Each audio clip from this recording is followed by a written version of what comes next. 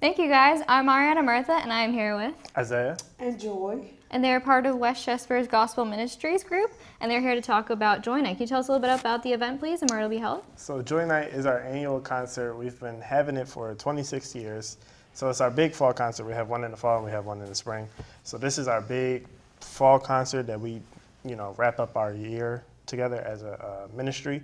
Mm-hmm. And so, it just bases all the minor ministries that we have under the big ministry name. So, yeah. Wow. Yeah, we're really excited about this concert. We've been planning and practicing for um, all semester long so far.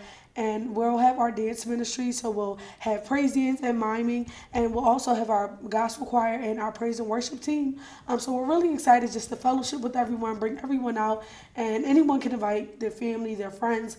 Um, it's just so that we can just be all in one place and just worshiping God together. Um, and we want everyone to feel comfortable, so don't feel pressure to wear anything specific. Just come as you are. Is there any fee for attending, or is it free for all? No, there is no fee, um, but we are asking if everyone could bring um, any perishable items, canned goods, uh, pasta boxes, tomato sauce, anything, um, because later we'll be donating um, to the resource pantry here on campus. Wow. Okay. Is there anything else you would like to add for the event? The event is Saturday, so November 10th at 5 o'clock. We're starting at 5 o'clock. So at 4.45, come on, get your seat because it get packed. Mm-hmm. But yeah, it's also on 424 South Darlington Street at the Church of the Nazarene. So it's right behind Tyson if students were walking or if parents, there is parking. So yeah, it's a big blue church. You can't miss it. Perfect.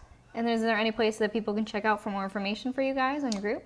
Yes, you can follow us on our Instagram at WCUGM.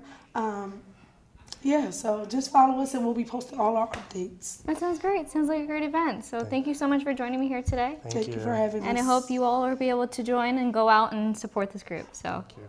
Thank you.